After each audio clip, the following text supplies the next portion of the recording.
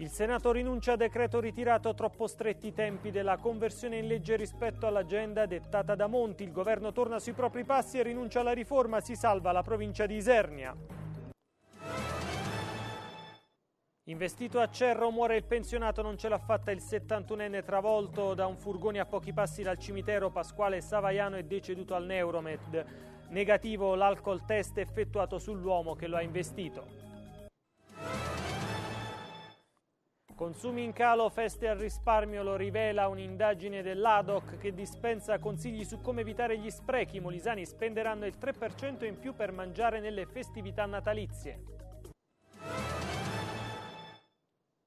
Appuntamento di Natale con il film di De Sica, presentato a Napoli Colpi di fulmine, il cinepanettone di Aurelio De Laurentiis, con Christian nei panni di uno psichiatra che si finge prete, la regia di Neri Parenti. Telemolise a Coverciano, rieletto Olivieri, il tecnico confermato alla guida dell'associazione allenatori, ricorda anche le partite contro il Campobasso in Serie D domani, Lisernia in campo ad Arezzo.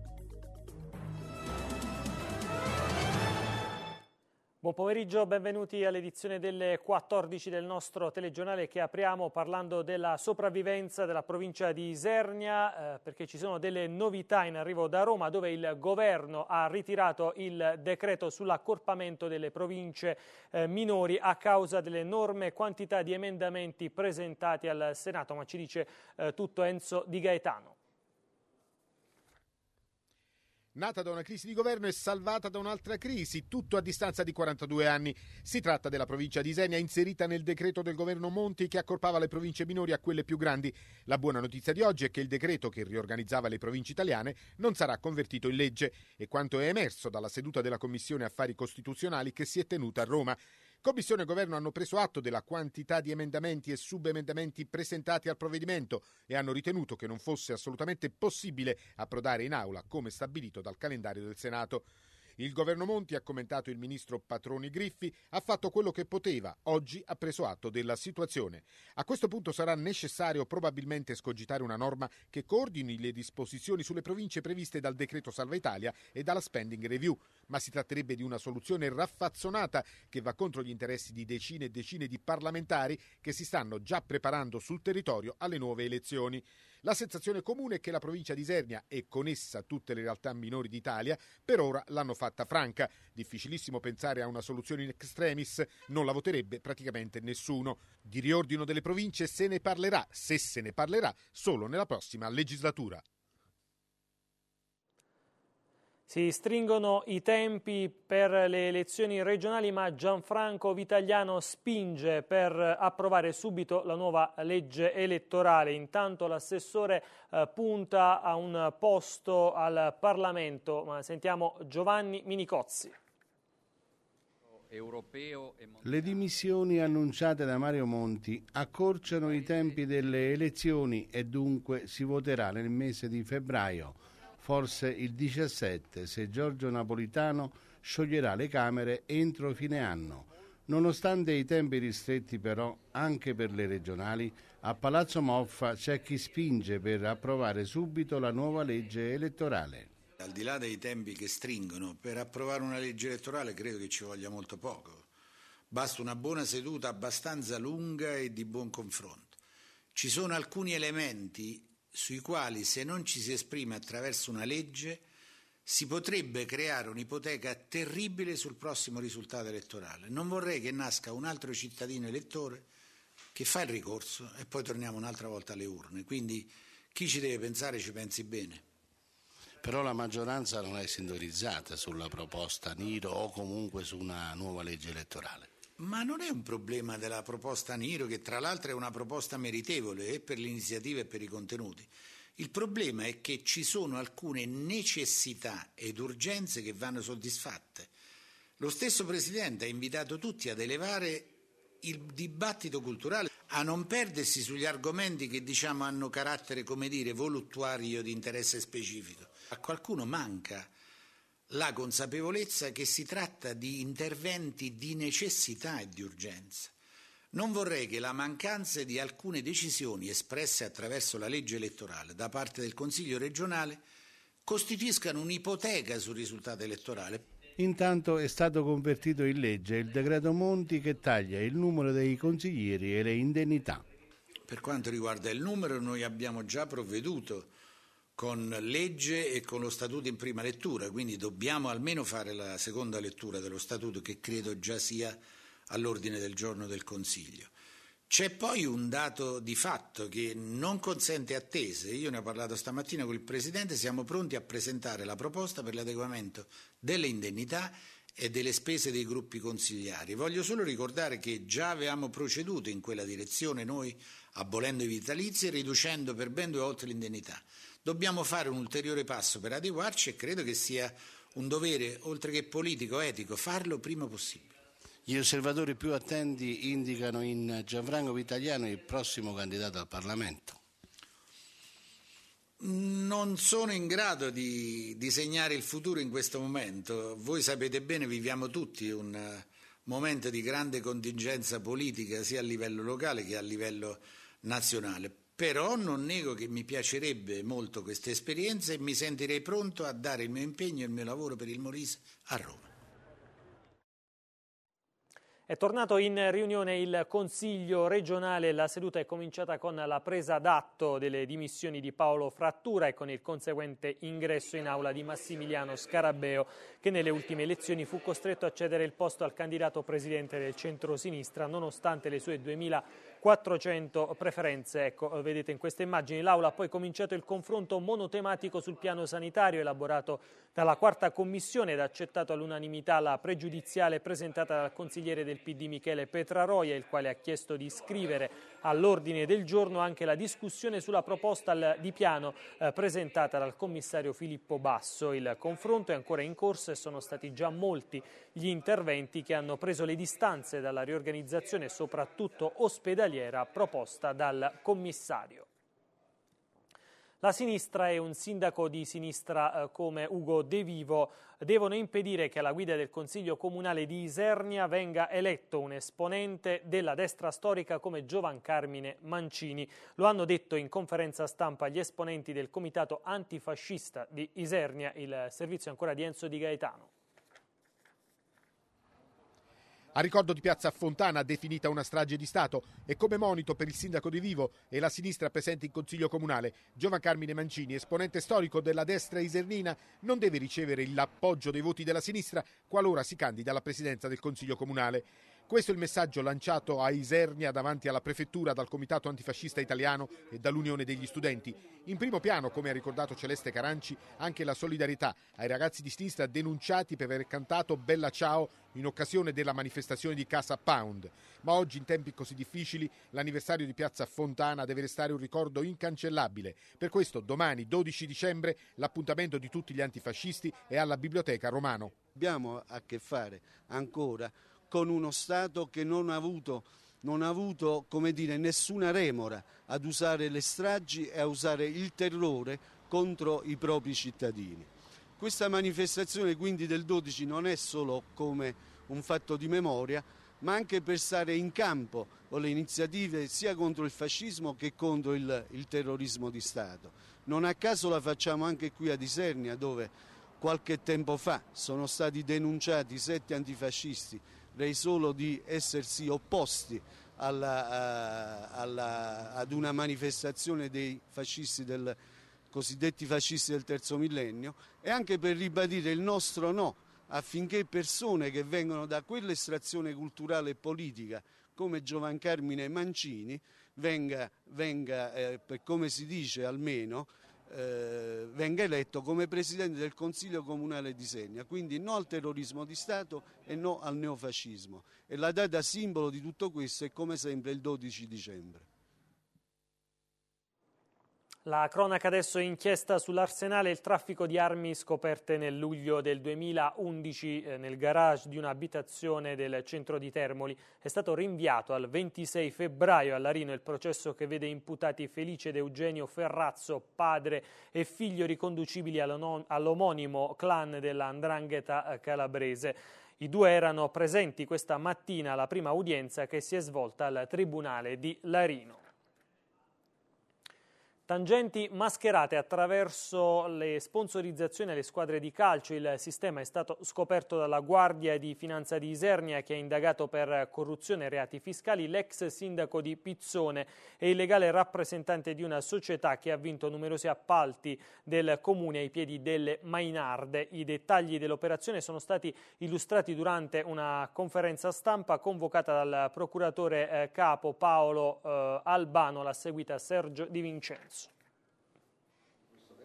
La Procura di Sernia l'ha definita un'abile opera di ingegneria del falso. Dal 2001 al 2011, nel periodo in cui Michele Cozzone era sindaco, gli appalti del comune di Pizzone li vinceva sempre la stessa ditta, la Socem, il cui rappresentante legale è Giovanni Farrocco. Importo complessivo dei lavori 3 milioni e mezzo di euro. A insospettire la Guardia di Finanza il passaggio successivo, ossia le sponsorizzazioni a due squadre di calcio delle serie minori da parte della Socem, la Cerrese e l'Aurora Pizzone, per un totale di 700 100.000 euro. I soldi venivano gestiti direttamente dal team manager, ossia l'ex sindaco di Pizzone. Eh, vi è stato un sistema di corruzione e di illegalità. Eh, abbiamo scoperto che tutti gli appalti, tutti gli appalti pubblici, dico tutti, venivano esclusivamente ed unicamente affidati sempre alla stessa società, alla stessa ditta, alla stessa impresa della Socem dell'ingegnere Farrocco.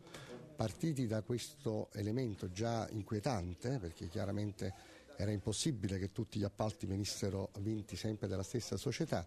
La Guardia di Finanza, ripeto, ha ehm, indagato a lungo e ha portato alla luce questo sistema corruttivo che poi si è collegato, abbiamo accertato, era collegato strettamente con il mondo dello sport. Venivano eh, da parte del Farrocco eh, versate somme ingentissime a titolo di sponsorizzazioni che ovviamente invece di finire nelle casse della società ed erano somme assolutamente sproporzionate per una piccolissima squadra, finivano invece nelle mani del sindaco e queste sponsorizzazioni, questi versamenti non erano altro che il prezzo della corruzione. I reati ipotizzati sono di corruzione e reati fiscali. Procure e Finanza hanno accertato un presunto danno erariale per il comune e l'uso di fatture per operazioni inesistenti. Nei confronti dei due indagati è stato disposto anche il sequestro preventivo di beni mobili e immobili, anche di pregio, per oltre 900 mila euro. L'inchiesta non è ancora conclusa. La Procura sta valutando le posizioni di altri indagati. Nel frattempo il caso è stato segnalato alla Procura della Corte dei Conti.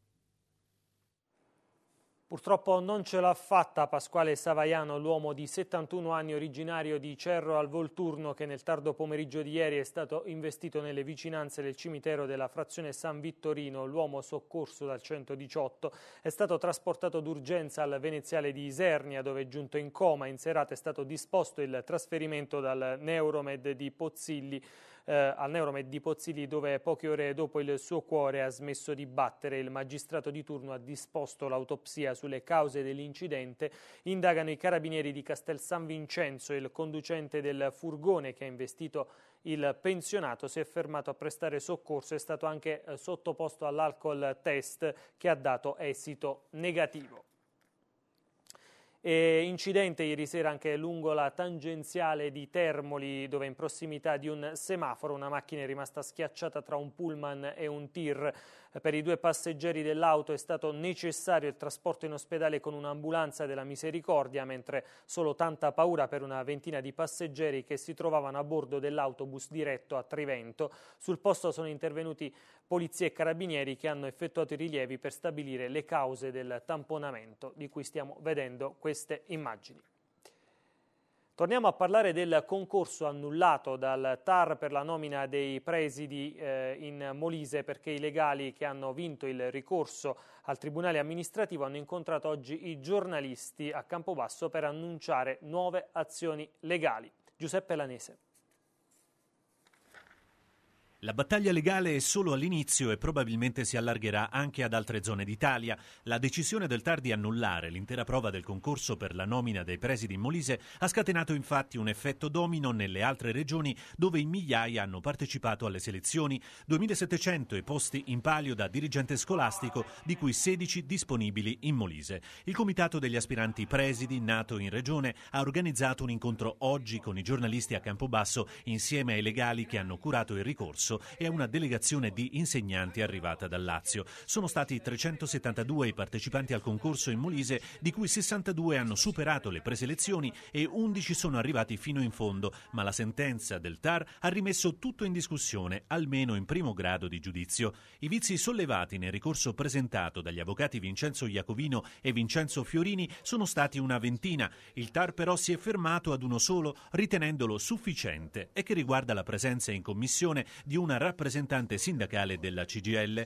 Per i legali del Comitato degli aspiranti presidi ci sono abbastanza elementi però per andare avanti. L'avvocato Iacovino in particolare ha annunciato di essere pronto a rivolgersi alla Procura e alla Corte dei Conti per fare ulteriore luce sulla vicenda. Dall'altro lato si muovono anche i legali dei vincitori del concorso per la nomina dei presidi, per il momento annullato. Per i loro legali questi ultimi sono del tutto estranei alla irregolarità riscontrata. Il TAR, spiegano gli avvocati, ha preso in considerazione una sentenza del Tribunale amministrativo della Sardegna, ma ha invece ignorato un identico precedente del Consiglio di Stato, peraltro più recente. A questo punto la sentenza del TAR Molise sarà impugnata al Consiglio di Stato, mentre arriva la notizia che solo in Sicilia 700 docenti che hanno preso parte al concorso sarebbero pronti a loro volta a impugnare il risultato al TAR. Insomma, come abbiamo detto, lo scontro legale è solo all'inizio. Hanno giurato fedeltà alla Repubblica i 149 agenti della scuola allievi di polizia di Campobasso e altri eh, ne arriveranno a breve per eh, nuovi eh, corsi, dunque scongiurato il rischio eh, chiusura eh, della scuola. Sentiamo.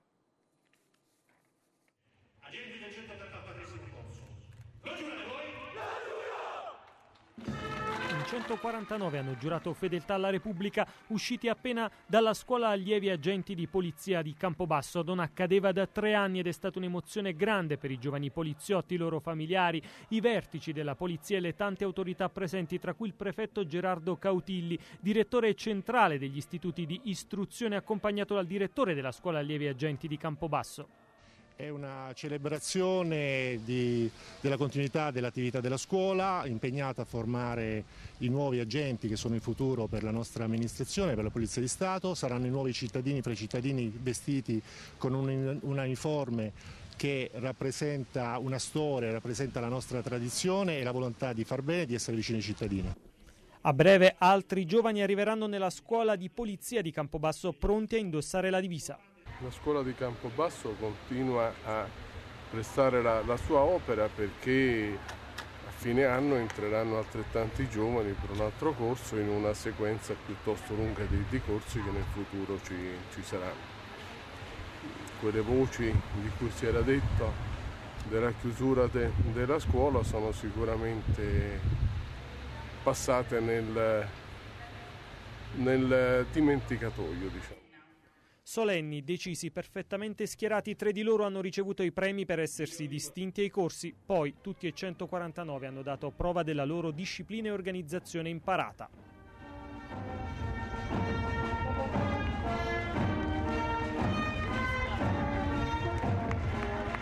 Loro corso dedicato a Giuseppe Iacovone, il poliziotto morto in provincia di Isernia mentre inseguiva un SUV che non si era fermato al posto di blocco. Un riconoscimento, un ricordo è stato consegnato ai genitori della gente. All'ingresso della scuola allievi due poliziotti a cavallo da Caserta e le macchine che hanno fatto la storia della polizia messe a disposizione da un appassionato. Sono nove e li ho presi in 30 anni nelle aste della polizia, me le sono aggiudicate, li ho conservate e li metto a disposizione a titolo gratuito alla questura per eh, le feste della, della, polizia e alla scuola per il giuramento del, della scuola di polizia.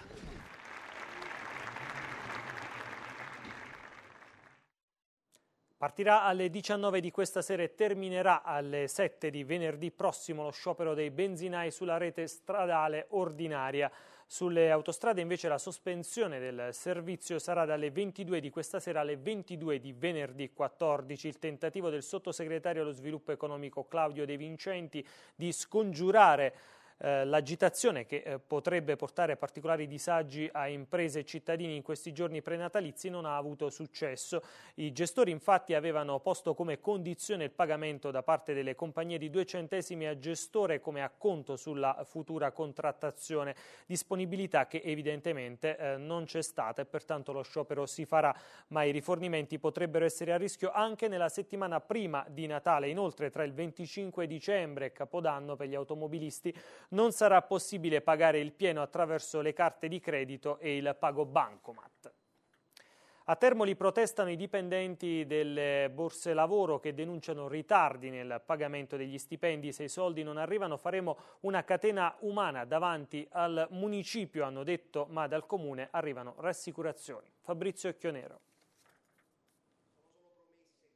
500 euro al mese a tempo determinato per lavorare nei vari servizi gestiti dal Comune, ambiente, cultura, lavori pubblici e altre attività organizzate nell'arco di sei mesi. Sono 29 persone che sono state selezionate con il sistema delle borse lavoro in base a requisiti come disabilità, soggetti svantaggiati e altre situazioni di indigenza. Questi lavoratori lamentano però ritardi nel pagamento degli stipendi e chiedono al Comune di rispettare gli impegni. Siamo qui perché per tutti i mesi dove dobbiamo percepire lo stipendio, no? E tutti i mesi è un ritardo e veniamo qui sempre a fare la solita elemosina. E invece di essere puntuali sono proprio, uno non dice la puntualità, almeno un po' di normalità. Un gruppo di lavoratori si è recato in comune dove ha incontrato anche i consiglieri di minoranza. Siamo pronti a rinunciare ai gettoni di presenza nelle commissioni e invitiamo anche la maggioranza e la giunta a fare lo stesso, ha affermato il consigliere di opposizione Antonio Giuditta. Se non vi pagano cosa succede? Noi verremo tutte, eh, verremo tutte 29 famiglie e faremo una catena umana. Perché noi il mese scorso è stato promesso che pagavano l'8 dicembre. Noi abbiamo rispettato i nostri patti, loro devono rispettare i loro patti. Eh, noi daremo un giorno di tempo, poi di che verremo a oltranza tutti i giorni qua. Intanto il sindaco Antonio Di Brino fa sapere che si tratta di un ritardo di soli cinque giorni e che il comune ha già predisposto il mandato di pagamento non appena ricevuto l'ok dalla regione. Entro la fine di questa settimana o al massimo all'inizio della prossima i soldi arriveranno, assicurato Di Brino. Parliamo adesso delle prossime festività eh, natalizie. Quest'anno la spesa alimentare dei molisani eh, crescerà di circa il 3%, ma bisognerà evitare gli sprechi, consiglia eh, l'ADOC, l'Associazione dei Consumatori. Sentiamo Marcella Tamburello. La crisi economica a Natale subisce una frenata. Sono tanti quelli che non riescono a rinunciare ai regali, anche se si tratta di semplici pensierini di pochi euro. Ma la spesa più alta, come sempre, i molisani la faranno con il carrello alimentare. Per quest'anno l'ADOC, l'Associazione per la difesa dei consumatori, ha stimato per ogni famiglia un aumento del 2,9% rispetto allo scorso Natale. Per i cenoni che accompagneranno le festività, ogni famiglia spenderà in media 175 euro in più rispetto al passato. In nome del risparmio e della sostenibilità però, l'ADOC ha stilato una serie di consigli per evitare sprechi alimentari, sottolineando l'importanza dei prodotti locali a chilometro zero contro quelli esteri come champagne e frutti esotici. L'ADOC ha inoltre evidenziato la necessità di acquistare solo l'essenziale, preferendo la qualità alla quantità, cercando di non buttare gli avanzi e facendo la spesa a piccole dosi, evitando anche le offerte spesso illusorie di molti supermercati. Molti alimenti devono essere conservati in frigo o nel congelatore per garantirne una durata più lunga e quando la spesa è eccessiva, consiglia ancora l'ADOC, possono essere donati anche alle associazioni di assistenza per i più bisognosi. A Natale quindi tutti seduti a tavola per gustare i prodotti della cucina molisana, ma con un occhio alla spesa per evitare inutili sprechi. Protestano i genitori dei bambini della scuola dell'infanzia di via D'Amato a Campobasso per il mancato funzionamento dei riscaldamenti eh, nella struttura. Non si sa ancora se la causa sia dovuta ad avaria o a una riduzione dell'orario di accensione dei termosifoni. Intanto è stato avvisato l'ufficio comunale eh, competente. Christian De Sica nei panni di uno psichiatra che si finge prete per paura di avere guai con il fisco e si rifugia in un paesino del Trentino Alto Adige. Il diplomatico Greg, che vuole a tutti i costi assomigliare a un popolano per conquistare la donna di cui si è innamorato per caso, sono gli ingredienti di Colpi di fulmine, il film di Natale prodotto da Aurelio e Luigi De Laurentiis per la regia di Neri Parenti. Giuseppe Carriera ha incontrato il cast alla prima del film a Napoli che sarà nelle sale il 13 di dicembre. Sentiamo. Carlo, sono già arrivati, che faccio? Scappo! Come avvocato ti dico chiarisci subito la tua posizione. Come fratello ti dico scappa e cambia identità. Trovati un rifugio insospettabile. Con il Chuck ufficiale di Christian De Sica siamo nuovamente a parlare di un film che esce a Natale, ma non è il classico film di Natale. Colpi di fulmine. Allora, Christian, parliamo innanzitutto dei colpi di fulmine. Quello tuo è un po' particolare in questo film. Beh, eh, è un colpo di fulmine per un maresciallo dei carabinieri che grazie a Dio non è caro tenuto ma è Luisa Ranieri, quindi mi ha detto bene. E andiamo! È una straordinaria attrice, insieme a noi c'è anche Arisa che è la mia perpetua e Simone Barbato che è quello eh, Mimo di Zelig. Sono la perpetua di Dondino. Dondi, Dondi, Dondi! E eh, basta con sto Dondi, Dondi, Dondi, Dondi, per fare il campanaccio! Ricordo un pochino i, i, i film degli anni 50-60 italiani, dove c'era un piccolo paese, il prete, il maresciallo, quegli elementi lì, quell'ottimismo soprattutto di quel cinema lì. Lei Adele, le faccio vedere. Allora, Guardi, stia normale, stia normale, non c'è, non c'è problema, tanto io c'era la fantasia. Il nostro episodio è la storia di un, di, un, di un, ambasciatore molto colto che parla tre lingue, che si innamora di una pescivendola e chiede a me, che sono il suo, il suo autista, che invece di estrazione popolare, come si fa a diventare popolani. A bella! E mi avvicino caracollando, ecco, il caracollo. Si ricorda tutto il peso sulle anche. Io sono di Testaccio, la pescivendola è di Borgopio, però insomma eh, sono abbastanza attigui come rioni, per cui non cambia molto. Pare morto, invece sta a dormire! È interessato a codesto punto vendita? Quella donna è un angelo, da quando l'ho vista non riesco a pensare che a lei. Si fa semplicemente ascoltando molto, vivendo la vita vera, prendendo autobus e non, come dire, eh, rinchiudersi dentro il mondo fatato e di cristallo del nostro privilegiatissimo lavoro. Quella i coatti. Lei deve trasformarmi da ambasciatore lavoratore in perfetto coatto. Andando sulle, mo- sulle, montagne russe del cuore forse può essere estremamente divertente perché è proprio da questo andare up and down che può nascere una grandissima comicità e un grandissimo divertimento. Sto film farà scoppiare un colpo di fulmine in due cuore di tutto quanto. Buon Natale!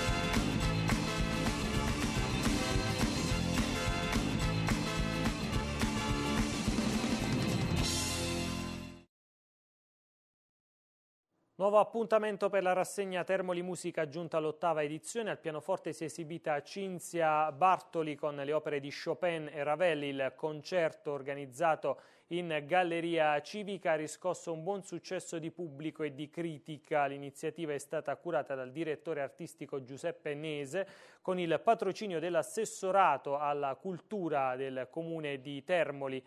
Eh, prossimo evento il 16 dicembre con il quartetto Accademia.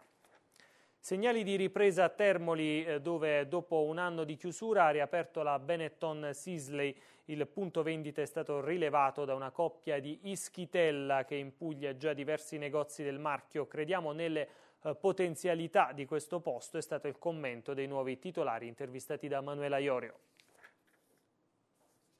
Segnali di ripresa a Termoli, dove dopo un anno di chiusura ha riaperto il megastore Benetton Sisley. La location è quella storica, Corso Umberto I, e già i primi giorni di apertura hanno fatto registrare il pienone. A scommettere sulla città è una giovane coppia di Schitella sul Gargano, che da 15 anni lavora nel mondo del commercio. I due giovani, Giuseppe Basile e Filomena Ventrella, hanno investito nonostante il momento di crisi, credendo nelle potenzialità di un territorio e di un marchio che nella zona è sempre andato bene. Abbiamo iniziato questa nuova avventura. Eh abbiamo cercato di investire qui nel Molise, era già oramai un anno che Benetton era chiuso e abbiamo riaperto sperando nel termolese, nei termolesi, nel, nell'Interland che sia una buona cosa per eh, tutto il popolo del Molise. Quasi mille metri quadrati dedicati all'abbigliamento uomo, donna, bambino, vastissimo e coloratissimo l'assortimento per l'intera famiglia, già diverse le promozioni all'apertura. I termolesi insomma sono stati molto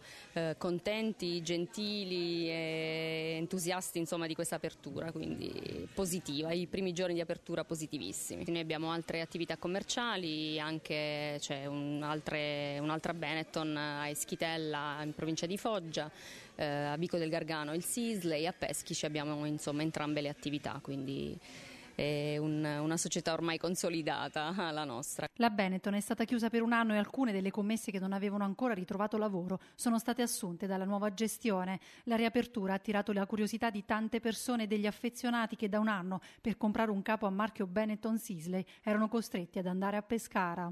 Sono contentissima perché mia figlia riesco a vestirla solo nei negozi Benetton o Sisley. Il primo giorno di acquisti sia per vedere un po' il negozio dato che è riaperto dopo, dopo un anno e anche per eventuali acquisti natalizi. Sono entusiasta, è una bella, bella, bella realtà, come al solito la Benetton non si smentisce.